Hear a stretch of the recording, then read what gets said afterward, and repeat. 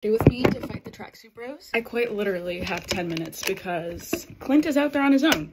And uh, yeah, we're not gonna let that happen again. This is the fit because we have to do branding. Oh my god. Now you might be asking yourself, Kate, why are you even bothering with makeup if you're just about to be in battle? Like, what's the point? But like, what if Yelena's there? She always shows up. She looks so good. I just don't want to be one-upped by her again. So we're just gonna do a quick makeup routine. Clint is so stupid because he went to go fight these guys by himself. We're literally partners. And so once again, I'm just trying to get ready, especially after like they low-key burned my apartment down the other day. Oh my god, we're running out of time. This is the fastest makeup routine I've ever done. Are we gonna contour today? No, that's done. This is the thing we take time on, okay?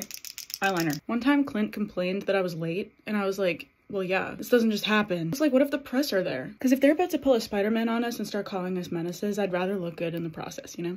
All right, one down. Oh, it's not even. We're not contouring, but we're highlighting. Oh, that's a lot. Okay, I'm doing something a little kind of crazy. We're just gonna go over this with some purple. You know, all I'm gonna say is I don't really know why Clint insists on doing these missions alone. He has the world's greatest archer right here. I have to remember to walk the dog later. Ow! I quite literally need to leave. Knowing Clint, he's probably just in another vent right now, but we're not about to take chances. I need to get there before something bad happens. We're not about to have chapped lips on this mission, okay? I should make a chapstick arrow. And yeah, look, it's not the best, but at least I'm gonna set my face. I'm not a complete menace.